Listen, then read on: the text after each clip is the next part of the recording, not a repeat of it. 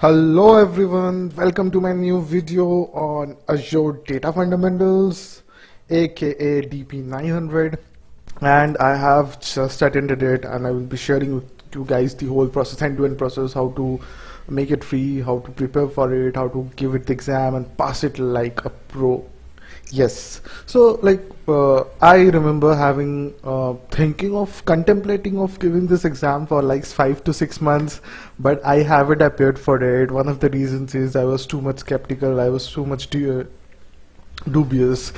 I didn't want to lose four thousand bucks because I was I was afraid. What if I what if if I if I I'm not able to clear the examination? I'd be losing four thousand rupees. It's almost four thousand rupees. Uh, like for many of us company might be paying for certification but still if you fail company doesn't pay right?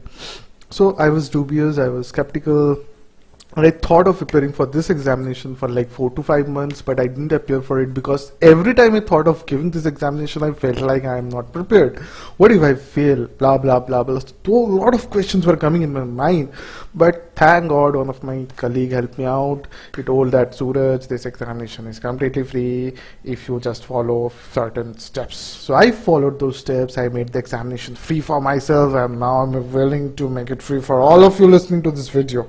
With this, let's start with the process of knowing this examination and how to make it free for yourself as well and clear it like a pro. So let's start with knowing what is DP900 or Azure Data Fundamental. Yeah, the batch you see on the right is what I received yesterday after clearing the examination.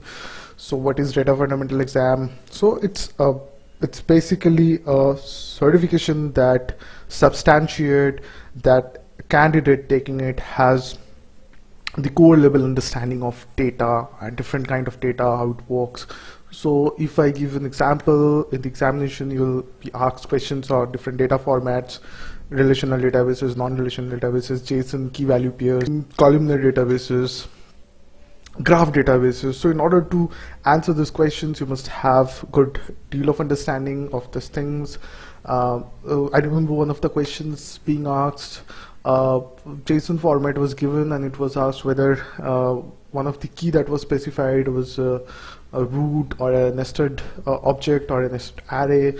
So in order to answer this kind of question you must have the core data knowledge. You must have the knowledge of understanding different data types different formats of data so it the, so this certification basically substantiate that you have those knowledge and you can apply those uh, knowledge related to data using Azure services. Besides that, this certification prepares you for much higher level of certifications, associate level certifications. This is very foundation level, basic level, fundamental level certification.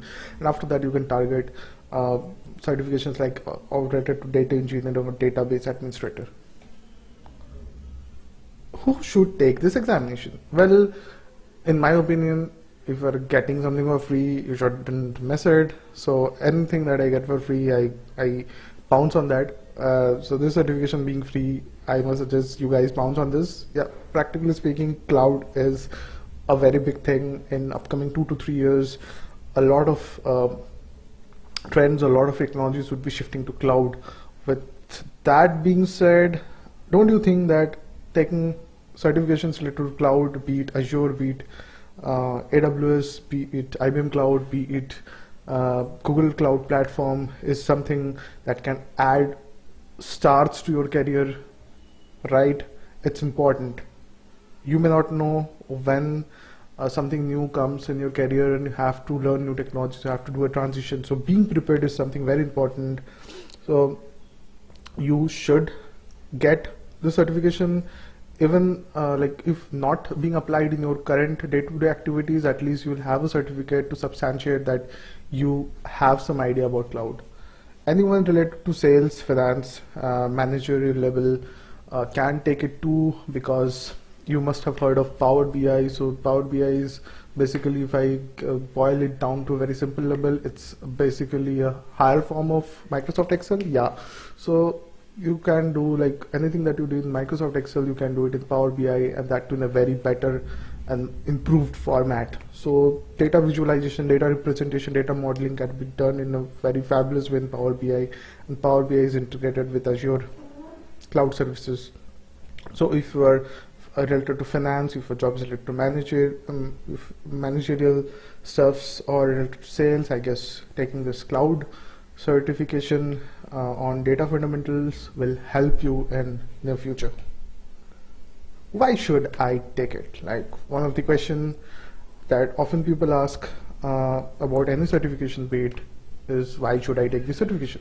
So one of the thing, any kind of certification adds value to your career. If I uh, pick a uh, example from my career when I was doing a transition from Cognizant to KPMG, I I cleared all the interview ra rounds. There were three rounds of interview. And then during the HR round, when we are, then when I was negotiating where my salary, HR asked me one thing, how many certifications do you have?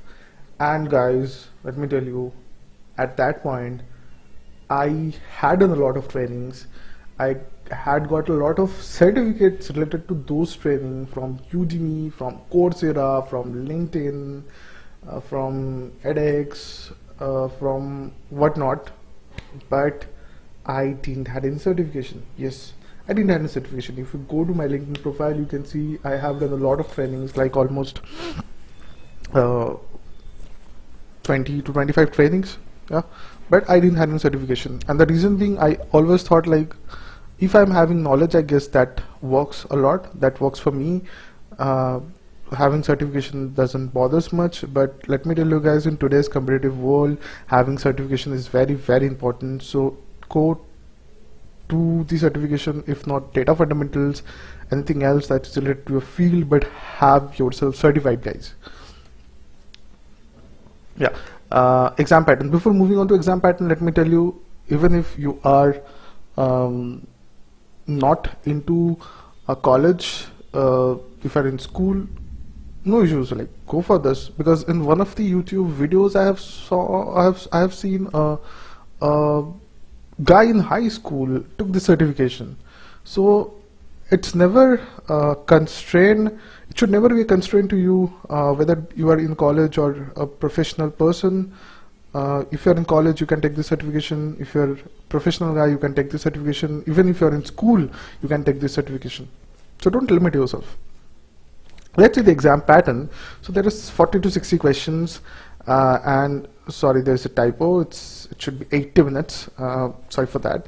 It should be 80 minutes uh, 80 minutes of the examination MC questions of different patterns would be there and the passing marks is 700 so MCQ questions of different pattern what do, what do I mean by that? If you see on my right right if you see on my right you can see um, questions of different patterns. So you can see questions where you need to select one of the options. You can see questions where out of the questions you have to select either yes or no and there is match the following type of questions as well.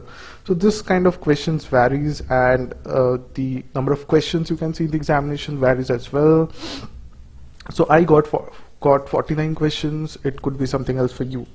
Now how to schedule it? Okay?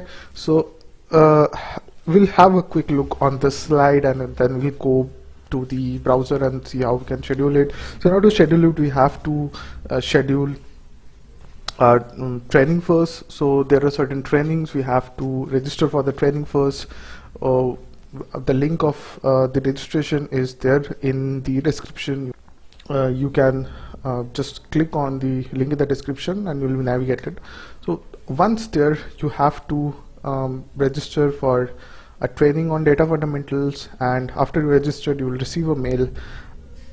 And it will have the dates of the training. On those dates you have to mandatorily attend the trainings which lasts for almost two to three hours. Two days training and the timings are generally 9:30 to 11 or 12 at night.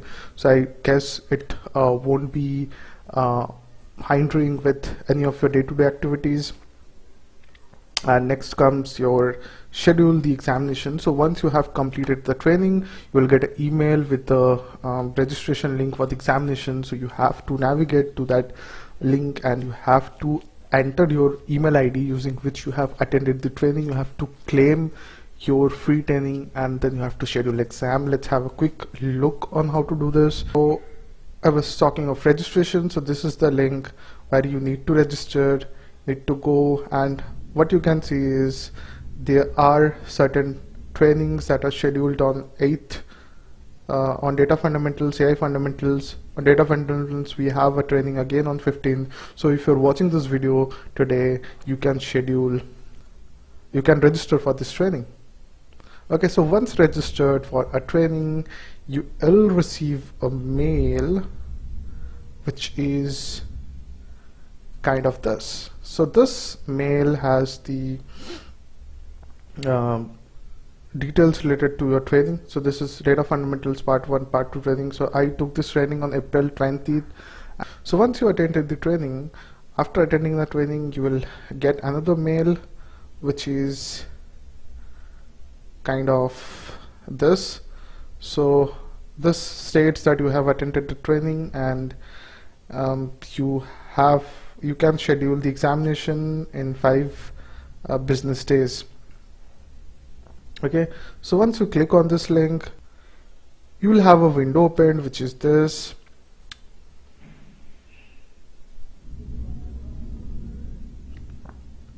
So you can see like uh, the uh, cost is given here. It's 3693 INRs but you can take it for completely free. The process is just you need to click on schedule with Pearson VUEs. There are a few more options as well.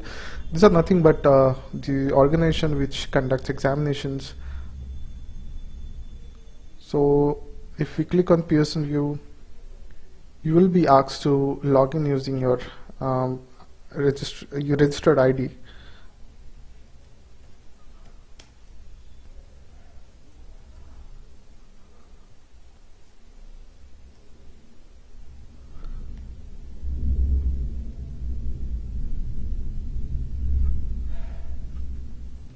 once registered you will get this uh, form. You have to fill in a few details. Then you have to press continue.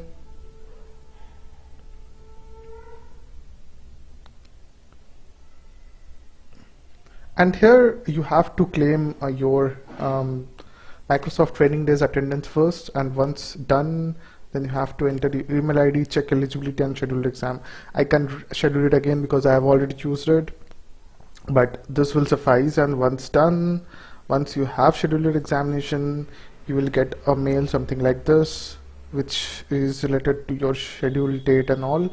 And here in the bottom you can see the uh, exam schedule date and the exam uh, related information. This is how it goes. Now let's see how to prepare.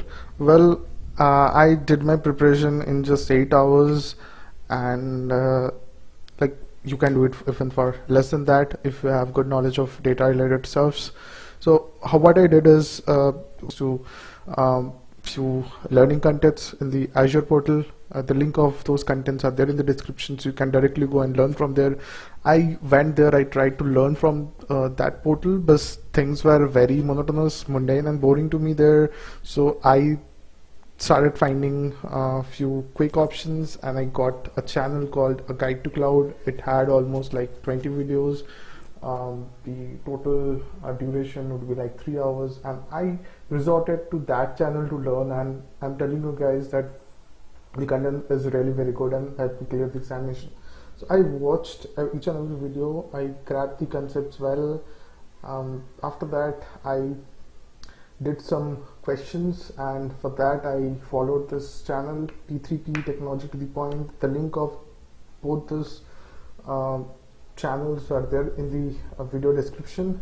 And in this channel they have four videos. In each videos they have so solved almost like 10 to 15 questions. And going through all these videos helped me grab like what kind of questions I might face in the examination and I, I, must tell you guys that out of the questions that I've seen here seen there on the, that video almost 85 questions almost 80 to 85 percent of the questions were there in the examination. So this content helped me to a great extent. How what happens on the day of the examination? So like this is very important. Uh, and I, I, would like to highlight a few points. What happens on the day, uh, day of examination? What happens is once you get the link um, So what happens is you get the link uh, related to examination and you have to log in 30 minutes prior to the uh, scheduled time. So my scheduled time was 1:15. I had to log in at 12:45, and you must have your uh, voter, uh, you must have your ID proof with yourself, and you need to uh, take few snaps. You have to take a picture of the front side, back side, left side, right side, along with along with the photo of your ID card. And once all those things are done uh, your proctor will be connecting with you uh, and will ask you to rotate your system show on your front back left right show the desk on which your laptop is kept. You must ensure that there is no paper. Your phone should be like over one hand away from your your sitting position or sitting place and once all these things are ensured your proctor will ask you to start the examination. So once you complete the examination you can revisit the questions again. There is no negative marking. And most importantly once you finish the exam you will get to see the score immediately. So get to know if you have passed or not. And immediately the the badge or certificate is not available on the website. It take almost like 15 to 20 minutes so don't panic if you don't see your badge or certificate immediately on the portal. It, it takes some time.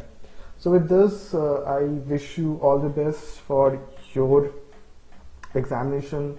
And if you have any doubt, any queries, any concern, you can comment, you can ask me, you can reach out to me on LinkedIn. Thanks for watching. Like my channel, share this video with your friends, and keep me motivated to come up with more videos on certifications.